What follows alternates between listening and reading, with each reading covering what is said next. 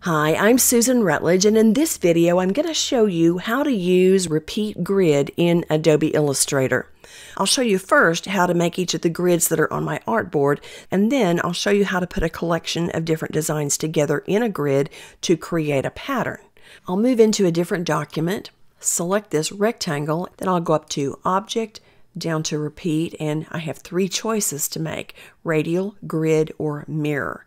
These are three new features which were added with the release of Illustrator 25.1, and they're all worth getting to know.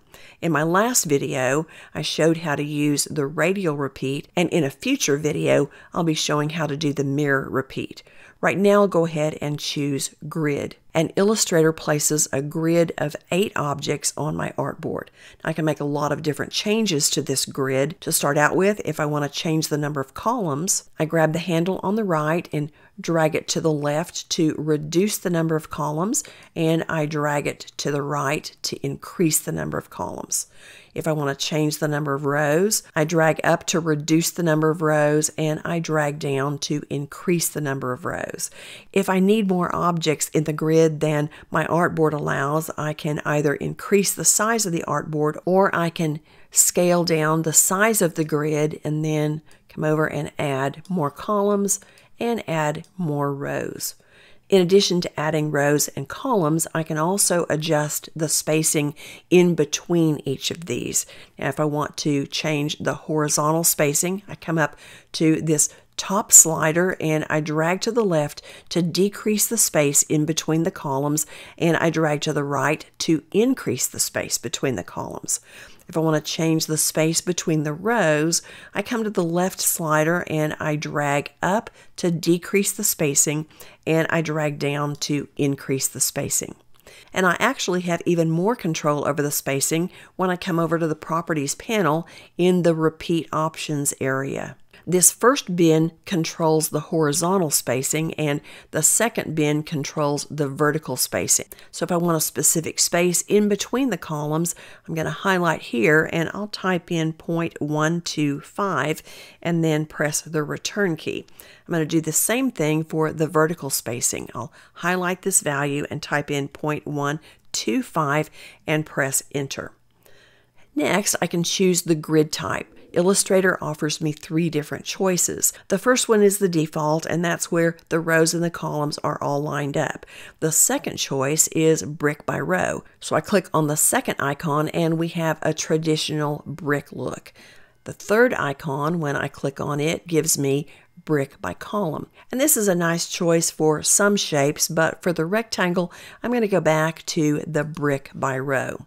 Below the grid type, you'll see flip row and flip column. And if I click on any of these icons, you're not going to notice a change because the object in my grid is symmetrical. I need to make a grid out of a different shape so I can show you how these work. I'm going to choose this heart, go up to Object, down to Repeat, and choose Grid.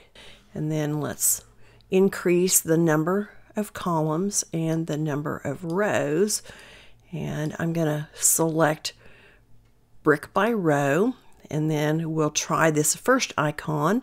This is flip horizontal row and there's no change there so I'll deselect that and we'll try the flip vertical and we see a change there so you see what happens here. I'll leave that and come over to flip column and first I'll try the flip horizontal, no change there, so I'll deselect it and then I'll click on flip vertical and that gives us a nice design. Everything's evenly spaced. I'm going to leave it like that. In addition to being able to change the kind of grid and the rows and the columns and all the spacing, you can also change the original object as well. And when we change one object in this grid, Illustrator is going to change all of the objects at the same time. Now, if the object happens to be a solid color, we can change the color fill on the stroke right here. I'll just come up to the color fill icon, click on it, and I'll change this to a pink color. And then I'm going to reduce the size of the stroke to two points and we'll leave it at that. But if I have an object in my grid that has multiple colors, this isn't going to work. So I'm going to move over to another document and we'll grab my pumpkin here and I'll make a grid out of it. I'll come down to repeat and choose grid. Then I'll add some columns and some rows. And the way I change color here is going to have to be different. To change just a part of the design, I need to double click on one of the objects, it doesn't matter which one, and that moves me into the grid repeat isolation mode. You can tell you're in the mode because now you can see this gray bar which goes across the top of the artboard. Now with this selected, I'm going to come to the layers panel. First of all, Illustrator tells me you're in isolation mode. And then if I twirl down here, and I actually need to twirl down one more time, I see all of the various components of this one object. Now, right now, they're all selected. You see the lines around all of them, and over here on the layers panel, you see these little red squares. To change the background of the pumpkin color without changing the leaves and the stem, I'm going to have to isolate this background color. So I'll click on this little ball and now the only thing that is selected is the background color. There's not a little box next to all the rest of these objects. So with the background color selected, I come back to the properties panel, click on the color fill icon, choose this darker orange color, and the color is applied to this particular object and all of the pumpkins in the grid. Now we can go back to the layers panel and we even see the color here in the layers panel. So I'm able to change the color, I can remove something. I'll come up and select the stem. And now you see the red line around the stem, and you see this little block here to show me that the stem is selected. And if I want to get rid of the stem, I'm going to press the delete key.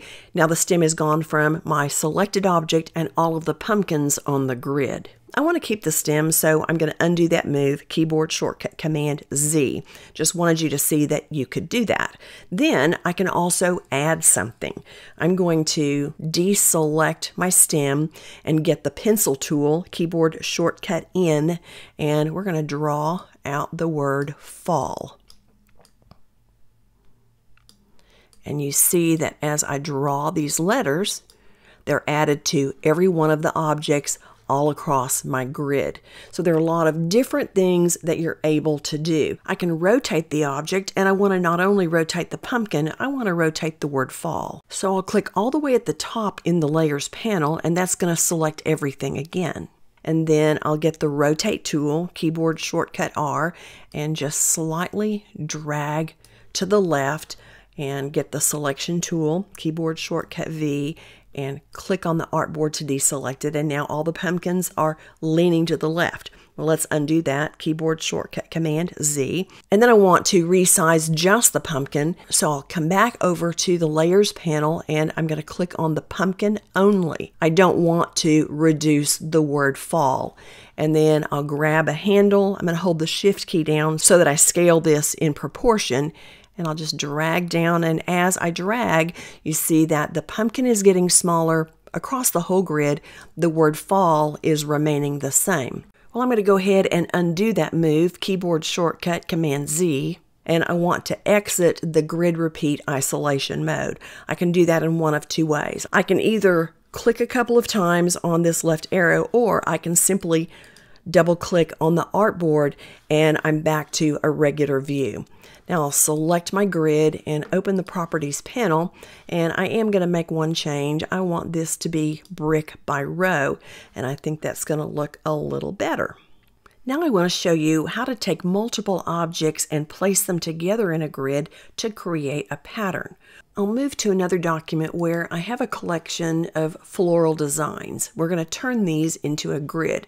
So I'll select them and move them into the top left corner of my artboard and then come up to Object, down to Repeat and choose Grid. And I end up with a grid that's much larger than my artboard. So I'm going to reduce the view for a moment so I can get a handle on this. I'll use the keyboard shortcut Command minus and I'll press Command minus again and Command minus one more time. I'm going to adjust the spacing of the grid and get it lined up with the artboard. And then I'll remove some columns and remove some rows. And to get back to the full size of my artboard, I'll use the keyboard shortcut Command 0.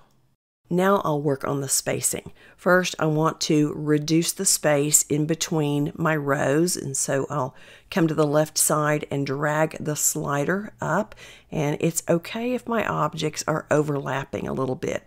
Next, we're going to adjust the size between our columns. So I'm going to come to the top slider and drag it to the left.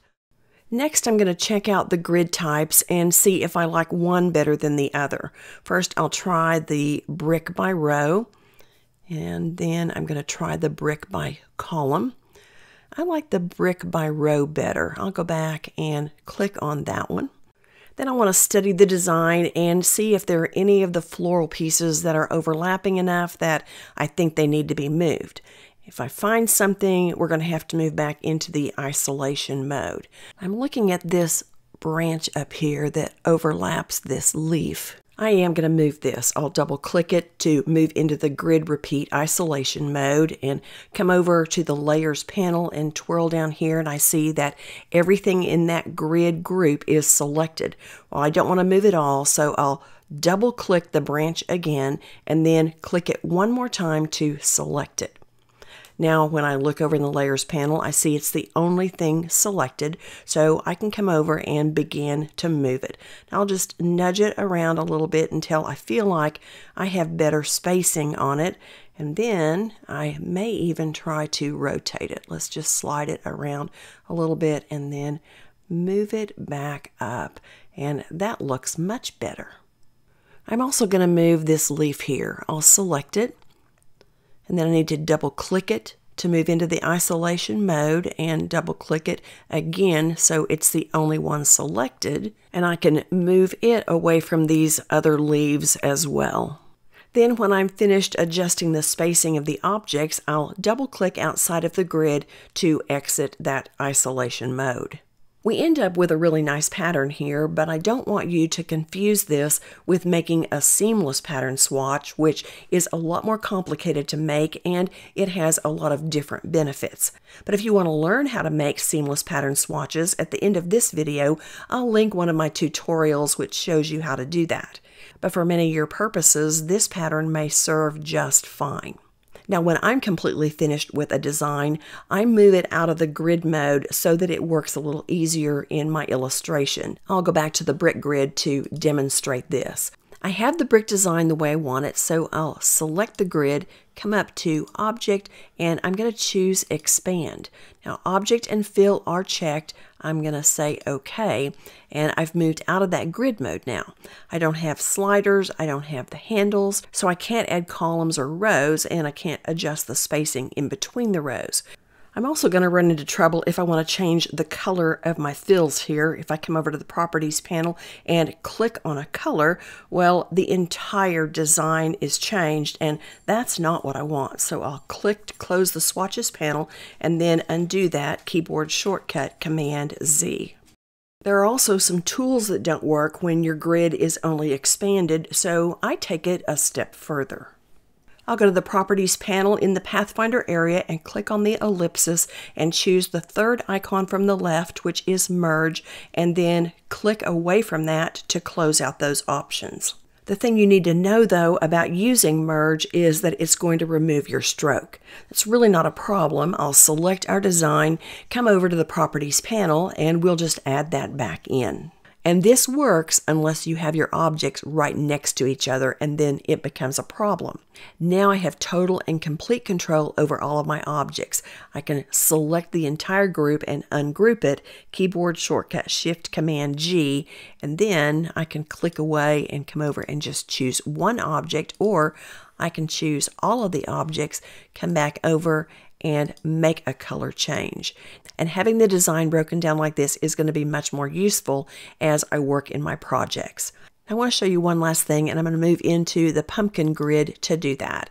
If you decide that you want to completely back away from the grid and get back to the original object you started with, then all you do is select your grid, come up to Object, go down to Repeat, and choose Release. Here I have the pumpkin that I started with, plus the addition of the word fall. Well, we've covered a lot in this video, and I hope you've enjoyed it and learned something. In the next video, I'm going to show you how to use that mirror repeat, and I encourage you to subscribe to my channel and ring the notification bell so that you don't miss that or any of my future tutorials, and I'll look forward to seeing you again soon. Thank you so much for watching. Bye now.